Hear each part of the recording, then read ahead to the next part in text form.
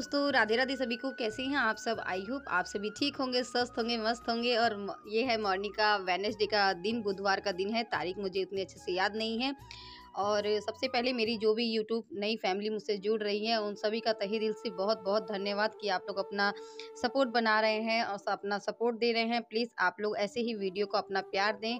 मैं भी जब भी, अभी इस टाइम पर थोड़ी सी व्यस्तता चल रही है कि होली का टाइम है और घर पर थोड़ा सा काम ज़्यादा रहते हैं तो शायद मैं किसी का वीडियो ना देख पाऊँ, लेकिन मुझे जब भी समय मिलेगा, मैं आप लोग को वीडियो वीडियो को अपना पूरा टाइम दूँगी फुल वॉच करूँगी तो आप लोग भी अपना सपोर्ट बनाए रहें। और जो मेरे बड़े माता पिता बड़े भाई बहन बहन है उनको रीता का चरण स्पर्श करते हुए परिणाम और जो मेरे छोटे भाई बहन हैं उनको ढेर सारा प्यार। तो आशा करती हूँ कि आप सभी अपने साथ साथ अपनों का भी ख्याल रख रहे होंगे क्योंकि अपने आप जब स्वस्थ रहेंगे खुश रहेंगे तो आपके अपने भी आ, आप स्वस्थ रहेंगे और आप उनको स्वस्थ रख पाएँगे। तो अभी बच्चों का टिफ़िन तो मैंने बनाने के लिए रख दिया है बन रहा है अभी। मैं पास्ता बना रही हूँ और ये है एक दिन पहले का वीडियो जिसमें मैंने थोड़े से चावल बचे हुए थे रात के। तो उनमें मैंने नमक डाल के मतलब उसको फैला दिया था। वैसे तो राधा खा लेती है, जो भी बचा हुआ रहता है।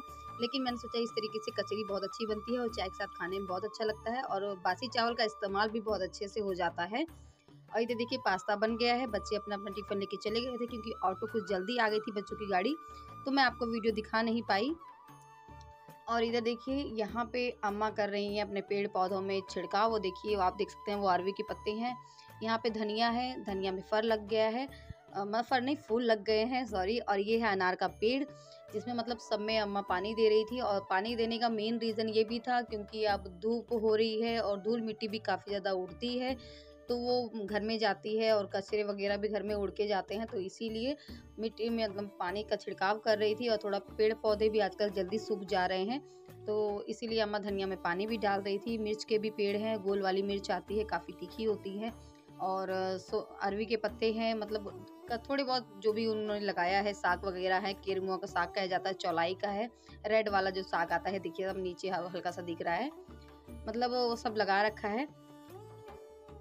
और इधर देखिए, इधर मैं धनिया भूनने की तैयारी कर रही हूँ, ये खड़ी धनिया है, जो वो हरी धनिया बन के तैयार होगी मतलब अभी तो उसमें फूल लगे हैं, लेकिन जब वो सूख जाएगी मतलब बैसाख के टाइम पे, बैसाख बोले तो अप्रैल का टाइम जब मतलब थोड़ा धनिया जब सूख जाएगा, उसके बाद उसमें मतलब फर लग के इस तरीके से वो भी धनिया हो जाएगी, तब हम दिखाएँगे आपको आगे वीडियो जब धनिया हमारी बन के तैयार हो जाएगी तो हमको दिखाएँगे।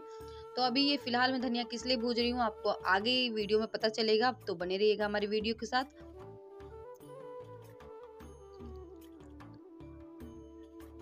और इधर देखिए, अम्मा ने मतलब पूरा दरवाज़ा एकदम गीला कर दिया है पानी से और पानी सूख भी गया है क्योंकि काफ़ी ज़्यादा गर्मी भी हो रही है। तो अम्मा मेरे को बोल रही है कि, अब बंद कर दो, गीला हो गया है। तो इधर मैं आ गई हूँ मतलब मोटर का तार निकालने के लिए।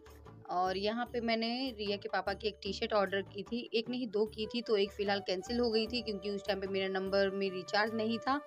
तो वो भैया लेके वापस चले गए थे और ये वाली एक रह गई थी तो ये मेरे को आज मतलब आ गई। तो उन्होंने कहा कि आपके मैम आप ले लीजिए। तो अभी लिया तो ये ठीक ठाक पड़ गई थी। आप लोग बताइए कैसी है टी शर्ट कलर कैसा है?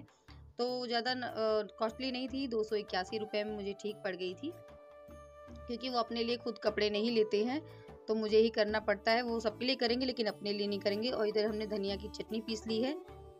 क्योंकि खाने खाने का जो आजकल स्वाद है ना, ये मार्च, अप्रैल, मई जून तक का एकदम मतलब स्वाद चला ही जाता है। मुँह से खाने का बिल्कुल कुछ भी अच्छा नहीं लगता है तो इसलिए चटनी रहे तो साथ में ज़्यादा अच्छा है। राधे राधे सभी को, कैसे हैं आप सब? आई होप आप सभी ठीक होंगे, स्वस्थ होंगे। ये तो अभी फ़िलहाल मॉर्निंग का जो बच्चों को भेजने वाला काम था स्कूल, वो सब हो गया है और सुबेरे के बज रहे हैं ग्यारह, और ग्यारह बज रहे हैं और धूप देख सकते हैं। पहले तो ऐसा रहता था ना कि ठंडी का टाइम है तो ठंडी में दिन जल्दी बीत जा रहा था और अभी दिन थोड़ा बड़ा सा हो गया है, लेकिन फिर भी धूप इतनी ज़्यादा हो रही है ना कि ग्यारह ग्यारह बजे के बाद तो काम करने का मन ही नहीं कर रहा है। तो अभी फ़िलहाल सबको मैंने खाना दे दिया है तो खाने में मैंने दाल नहीं बनाई थी आलू टमाटर की सब्ज़ी बनाई है चावल बनाया और रोटी बनाई है और धनिया लहसन की चटनी पीसी है जो कि आपने देखी है। और खाना मैंने अभी नहीं खाया, मैंने सोचा पहले आपसे थोड़ी सी बात कर ली जाए। तो बच्चे चले गए हैं स्कूल तो उसके बाद मैं फ़िलहाल लग गई हूँ खाना बनाने के लिए, क्योंकि अगर खाना नहीं बनाऊँगी तो उसमें देरी हो जाती है और सबको मॉर्निंग में सुबह जल्दी खाना चाहिए रहता है। जल्दी क्या फिर भी साढ़े दस बजे तक ग्यारह बजे तक खाना चाहिए था और ग्यारह बज ही रहे हैं तो सबने खाना खा लिया है बर्तन पड़े हैं। तो बुधवार को बच्चों की वाइट ड्रेस लगती है तो मैंने कल शाम को ही बच्चों से सॉक्स जो भी थे उतरवा के रखवा लिए थे बाथरूम में कि रख दो जब मैं कपड़े धोऊँगी तो मैं धो दूँगी। तो सवेरे फ़िलहाल मैं नहा के उठ गई थी मैं उस टाइम पे कपड़े नहीं धो पाई थी क्योंकि बच्चों को लेट हो रहा था। तो अभी थोड़ा खा के थोड़ा सा चले कुछ नाश्ता पानी कर लें क्योंकि मेरे को भी ना थोड़ा सा भी ना खाओ पियो तो फिर थोड़ा एनर्जी फील नहीं होता है। तो अभी चल रहा है, कुछ खा पी लें थोड़ा सा आराम करेंगे, फिर उसके बाद लगेंगे हम अपने काम। आप भी खा लीजिए देखिए मैं ये सवेरे का जो मैंने पास्ता बनाया था बच्चों के लिए, वो ही अभी फ़िलहाल मैं लेके बैठी हूँ, क्योंकि मैंने सवेरे खाली मॉर्निंग में चाय और एक पराठा ले लिया था। और इधर मैं लेके आई हूँ अपना पास्ता खाने के लिए। आइए आप सब भी खा लीजिए। और खाना अब नहीं खाऊँगी, जब ये सब थोड़ा बहुत खा लेते तो फिर पेट भर जाता है और आजकल सबके साथ ऐसा हो रहा होगा कि किसी का खाना खाने का मन नहीं कर रहा। ये टाइम ऐसा आ गया है ना कि अब अच्छे से अच्छा खाना बनाएँगे, लेकिन वो भी पानी जैसा लगेगा, बिल्कुल भी कोई स्वाद नहीं लगता। तो अभी फटाफट से हम इसको खा लेते हैं, उसके बाद तब आपसे मिलते हैं। तो इधर देखिए दोस्तों, हो हो चुका है शाम का टाइम और मैं आपसे तकरीबन एक डेढ़ घंटे बाद ही मिल रही हूँ, क्योंकि जब मैंने खाना पीना खा लिया था तो ढाई ढाई या तीन बज रहे हैं, बच्चे आ गए थे स्कूल से।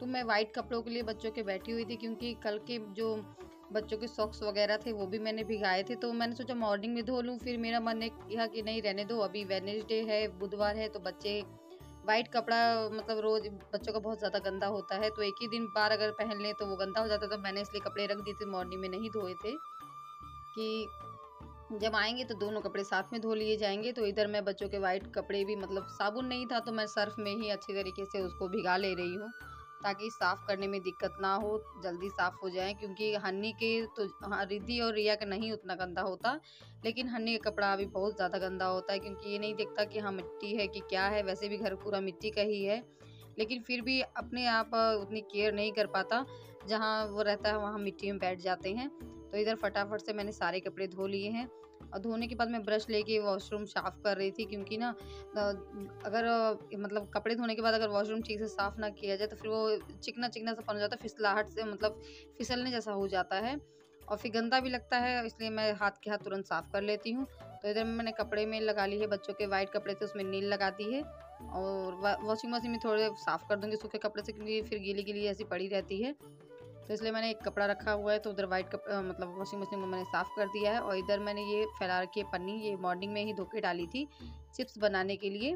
तो ये मैंने ढूंढी और इसको धो के फैला दिया है ताकि ये कल मैं जब चिप्स बनाऊँगी तो ये पन्नी भी तब तक सूख जाए। और ये देखिए, ये जो भरे मिर्च आ रहे हैं, ये मिर्च का जो अचार बनाया जाता है, भरवा मिर्चा हमारे यहाँ कहा जाता है इसको तो यही वाले अम्मा दो किलो लेके आई थी और तो उसको फैलाया हुआ था थोड़ा धूप दिखाने के लिए। धूप में दिखा के ही जब वो थोड़ा नरम हो जाएगा तभी बनाया जाएगा। तो मैंने सोचा अब इस टाइम पे छत पे आई हूँ। तो जो चावल थे, चावल थोड़े और मैंने डाले थे। तो वही चावल मैंने सोचा वो भी ढक दूँ इसी टाइम और मिर्च लेके नीचे चलते हैं अब। क्योंकि शाम हो रही है तो अभी रखने का कोई फ़ायदा है नहीं तो थोड़ी बहुत रहेगा। तो अगर भर पाएँगे तो भर देंगे, अभी नहीं तो फिर बाद में भरा जाएगा। तो अभी थोड़ी देर बाद जब देखा तो अम्मा भरने के लिए लेके बैठ गई थी तो मैंने सोचा लाइए आपको भी दिखा दे। तो इसमें से जो अम्मा, जो ये बीन रही हैं, ये थोड़ा टाइट वाला अलग रखेंगी, जो नरम है, वो अलग रखा हुआ है, नरम वाला ही भरा जाएगा। तो इसमें अम्मा ने मसाले में मिला रखा है, मंगरेल, सौफ, अजवाइन, जीरा, हींग और मेथी सरसों और धनिया। और खटाई है, था मतलब खटाई अब की बार नहीं उतनी मतलब आम हुए थे तो खटाई नहीं बना बना पाए थे, लेकिन आमचूर मार्केट से मंगा लिया था। तो वो ही इसमें मसाले मिला है तो यही सारा मसाला इसमें डाला जाए मतलब मिला के मैंने मिक्स करके रख लिया है। पीस तो मैंने दिया था, अम्मा ने ही इसको मसाला इसका बना दिया था। अगर आपको अगर इसमें मसाला के लिए जानना हो तो प्लीज़ मुझे ज़रूर बताइएगा तो मैं आपको डिटेल में बता दूँगी कि इसमें क्या क्या मसाला लगा है, किस तरीके से इसको हमने मसाला तैयार किया है। और ये मिर्च का अचार तकरीबन मतलब बारिश के टाइम पे जब कुछ खाना उतना फीका फीका सा लगता नहीं अच्छा लगता तो ये सब अचार बना के रख दो, अच्छे लगते हैं खाने में। मैं और रिद्धि, आप देख सकते हैं, रिद्धि यहाँ पर मेरे रही है। मैं और रिद्धि जा रहे हैं अपने खेत में, यहीं पर पास में है। और मटर फरे हैं उसमें मैं आपको वो दिखाने चाहती हूँ। और मटर को हिंदी में गुडूरी बोलते हैं यहाँ पर सारे लोग। और चलिए हम आपको दिखाते हैं गुडूरी मतलब मटर। और चलते हैं, दो मिनट बाद में मिलती हूँ। चलिए, रास्ते वाला सीधा आप देख सकते हैं यहाँ पर दिया गया तो आज शाम को रिया रिद्धि निकल गई हैं ब्लॉगिंग करने के लिए तो आप लोग ज़रूर ये भी बताइए कमेंट में कि इन दोनों की ब्लॉगिंग आप सभी को कैसी लगी? देखिए कितना सुंदर नज़ारा लग रहा है देखने में। और शाम हो गई है और ये हमारे घर के बाहर का व्यू है और तो ये दोनों जा रही हैं खेत में। चोरी छुपे से मेरा मोबाइल उठा के ले गई थी ये जा रही हैं मटर खाने के लिए क्योंकि दादी अभी चिल्ला रही हैं। डांट रही थी इन सभी को कि अभी छोटे छोटे मटर है, पोपटा है, थोड़ा उतना मत खाओ, अभी दाने नहीं पड़े हैं, लेकिन ये लोग मोबाइल लेके निकल गई हैं। बाद में मुझे पता चला है कि हाँ ये लोग मटर खाने के लिए गई थी जब मैंने वीडियो देखा। तो इधर देखिए मतलब बाद में अच्छा भी लगा और काफ़ी अच्छा नज़ारा भी था और बहुत अच्छी तरीके से, मेरे हिसाब से ब्लॉगिंग उसने अच्छी तरीके से की। लेकिन अभी ज़्यादा मैं मोबाइल मोबाइल इसलिए नहीं देती क्योंकि अभी एग्ज़ाम के टाइम भी आ रहा है बच्चों का तो उस पर फोकस करना ज़्यादा ज़रूरी है। लेकिन अभी जब चोरी से छुप के बता बिना बताए लेके गई तो वो नहीं कुछ हुआ है। और देखिए रिद्धि ये खा रही है मटर। एक मटर में तीन दाने निकले हैं एक मटर में पाँच दाने निकले हैं। तो अभी ज़्यादा दाने नहीं पड़े हैं। कैसे खा कैसा रिद्धि? तो इधर देखिए ये हमारे खेतों का नज़ारा है और बगल में ये गेहूँ के खेत हैं। जिसमें बाल आ गया है और ये सरसों और मतलब मटर दोनों एक साथ हमारे बोया गया है।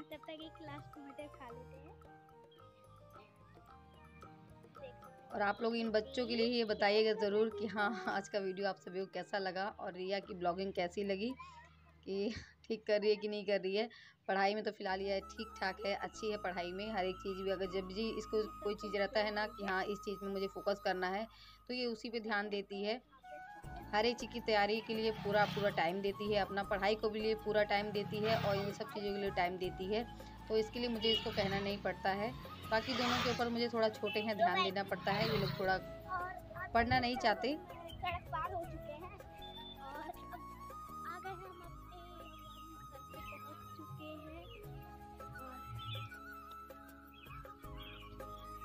मैं तो अगर आपको हमारा ये ब्लॉग अगर अच्छा लगा तो प्लीज़ लाइक करिए। और क्या करिए दीदी? सब्सक्राइब करिए। और नीचे जो बेल आइकन है उसे प्लीज़ प्रेस करके ज़रूर बताएँ। हमारा ब्लॉग आपको कैसा लगा? तो अभी के लिए बाय और आप सबका प्यार ऐसे ही? हमारे तो इधर देखिए, अभी भी हम दोनों लोग मर्चा भर ही रहे थे और ये लोग आ गए थे, तब मुझे पता चला था कि हाँ ये दोनों ब्लॉगिंग करने गई थी। तो आप सभी को आज का वीडियो कैसा लगा? और देखिए मर्चा हमारा भर के तैयार हो गया है, इतना मर्चा भर लिया है, अब नहीं भरेंगे, कल भरेंगे। अगर वीडियो ज़रा सभी पसंद आया तो प्लीज़ लाइक शेयर कमेंट ज़रूर करें। अगर चैनल पर हमारे नए हो तो चैनल को सब्सक्राइब करें। मिलते हैं नेक्स्ट वीडियो ब्लॉग में। Bye bye